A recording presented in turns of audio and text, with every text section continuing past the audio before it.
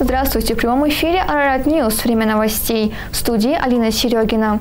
Группа представителей из ОБСЕ провела встречу с администрацией Сюникской области. Группа ОБСЕ по оценке потребностей в воскресенье провела встречу с представителями администрации Сюникской области. Об этом сообщает пресс-служба администрации региона. Ранее в ОБСЕ заявили, что 21 по 27 октября направляют в Армению группу экспертов для оценки ситуации в некоторых приграничных районах. В ходе встречи делегаты Делегатам ОБСЕ были представлены последствия недавней агрессии, совершенной вооруженными силами Азербайджана 13 сентября в отношении суверенной территории Армении.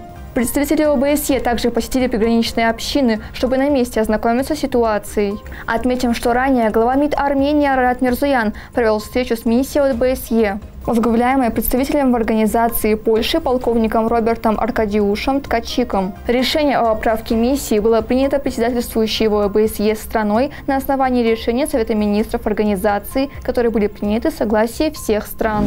Арарат Мирзуян с официальным визитом посетит Ватикан. Глава МИД Армении Арарат Мирзуян с 25 по 26 октября с официальным визитом посетит Ватикан. Об этом сообщает пресс-служба армянского МИД. В рамках визита запланированы встречи Мирзуяна с высокопоставленными главными официальными лицами Святого Престола и Суверенного Мальтийского ордена. Мирзаян примет участие в святой мессе «Мир для Армении» в папской базилике Санта-Мария-Мажоре. Солнечное затмение 25 октября будет наблюдаться и в Армении.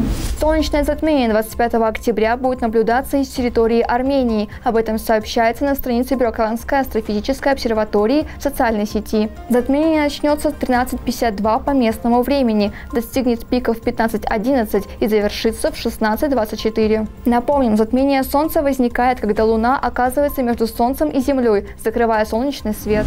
Вице-премьеры Армении и Азербайджана в Брюсселе обсудят вопросы определения границы. Вице-премьеры Армении Махер Григорян и Азербайджана Машахин Мустафаев проведут встречу в Брюсселе в рамках работы миссии по делимитации армяно-азербайджанской границы и по пограничной безопасности. Их встреча состоится в первую неделю ноября. Другие подробности пока не сообщаются. Отметим, что предыдущая встреча состоялась 30 сентября в Москве. С вице-премьерами Армении и Азербайджана перед началом заседания провел встречу их российский коллега Алексей Аверчук. Алексей Аверчук предложил совместные работы. Вице-премьеры обсудили организационные и процедурные вопросы, а также регламент дальнейшей работы. Во время встречи была достигнута договоренность о проведении третьей встречи в согласованные сроки. Ученые из России налаживают связи с армянскими коллегами в области органической химии. Российские ученые заинтересованы в сотрудничестве с коллегами из Армении в ряде областей, в первую первую очередь в сфере органической химии.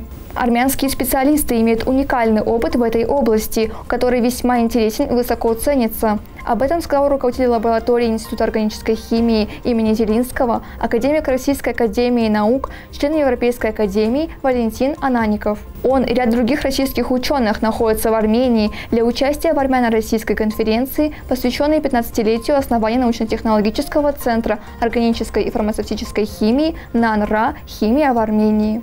Мы хотели воспользоваться тем научным потенциалом, который заложен в уже имеющихся контактах между российскими и армянскими учеными. Этот потенциал был всегда, однако он переосмысливается сейчас, сказал Ананников.